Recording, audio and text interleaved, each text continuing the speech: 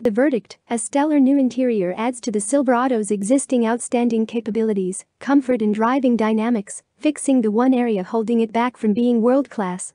Versus the competition, there are no more excuses over at Chevy, with the new Silverado easily on par with the Ford F-150 and Ram 1500 in every aspect and category.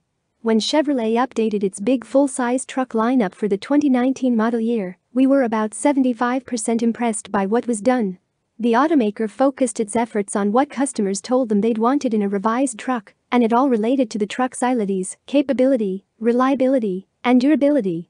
The result was a new truck that was stronger and more fuel efficient, had better towing numbers, and was packed with new technology that was nothing short of jaw dropping in some cases. But a big problem was immediately apparent the redesigned 2019 Ram 1500 pickup, which had an absolutely stunning luxury car level interior swathed in rich veiling materials that were screwed together immaculately. By comparison, the new Silverado's interior was one area Chevrolet didn't focus too much on, even removing content like seatbelt height adjusters, with the explanation that its customers didn't say they wanted a super luxe interior. The question immediately became how quickly could Chevrolet pull off an interior redesign to bring the lackluster cabin up to snuff with the likes of the Ram and the new 2021 F-150. Despite a slight pandemic-related delay, the answer has arrived in the form of the new 2022 Silverado 1500, which sports an interior that no longer relegates the Chevy to second-tier status. The new cabin goes a long way toward making the Chevy fully on par with its contemporaries.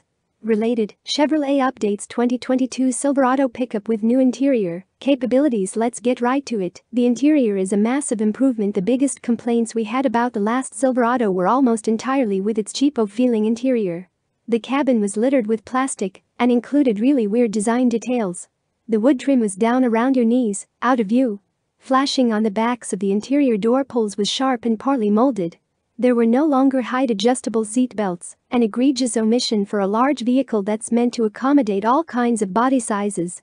It was especially noticeable on the top high country luxury trim, the most expensive version of the Silverado, and the one meant to counter the big bucks luxury trims from Ram and Ford.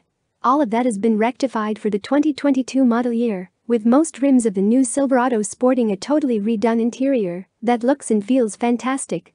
The base work truck, custom, and custom Trail Boss trims all stick with the old interior, while the LT, LT Trail Boss, RST, LTZ and High Country get the new cabin.